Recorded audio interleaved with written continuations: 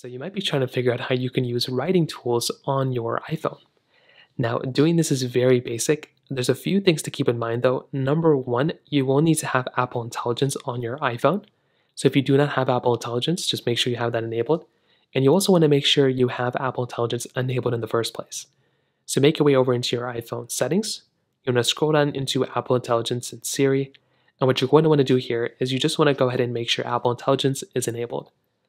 Now, when you do that, the next thing you're going to want to do is you want to go and make your way over to your iPhone you know, panel. You can go into your Notes app, you can go into Messages, wherever you want to, and you want to start writing something.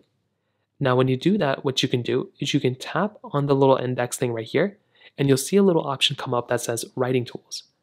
So you can just tap on Writing Tools right there, and then you will immediately get the Writing Tools option come up at the very bottom. So now what you can do is you can go ahead and have it do a lot of different things. So you can have this particular writing tools option go ahead and proofread your text, rewrite your text. You can have it, you know, friendly, professional, you know, concise. You can do that as well. All the summary, key points, you know, all these other options you have right here, you can go and kind of modify this whichever way you want to. But within Apple Intelligence, you can also go through and describe your change as well.